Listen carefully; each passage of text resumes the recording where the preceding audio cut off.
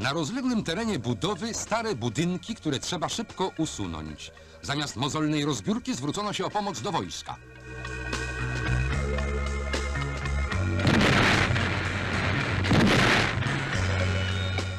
W Żarnowcu na Pomorzu powstanie elektrownia szczytowo-pompowa, jedno z najtańszych w eksploatacji źródeł energii.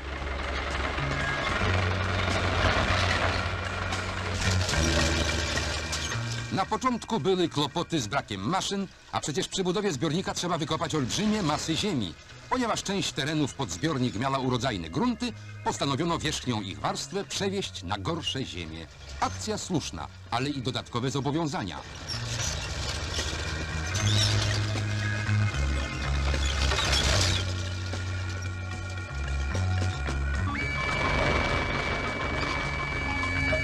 Poza samą elektrownią o mocy 680 MW wznosi się osiedle robotnicze. W pierwszych blokach jeszcze wśród zgiełku budowy zamieszkali już lokatorzy, wśród nich budowniczowie i przyszli pracownicy elektrowni Żarnowiec.